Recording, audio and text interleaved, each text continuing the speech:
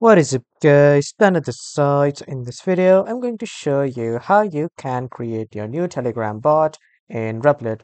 So first you need to head over to your Replit account and then you need to log in with your Replit account credentials.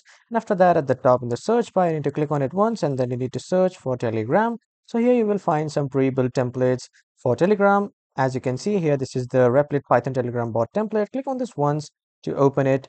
And after opening it here on the right side, you need to click on create app.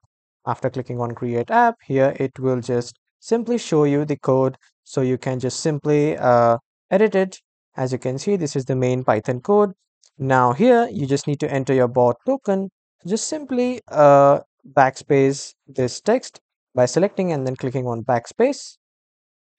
And after backspacing your character or yes, the text, simply go to the telegram and then search for BotFather. After searching for BotFather, uh, give it the command new bot and then just simply enter your bot name. After that, this will give you the API key like that. Just simply uh, select and copy the API key, come back to Replit, uh, paste your API key and then hit enter or you can just simply click on deploy to deploy your uh, Telegram bot. By just clicking on this deploy here, you will be able to deploy your Telegram bot in Replit. So this is how you can create your Replit Telegram bot. That was all for this video everyone. Thank you for watching.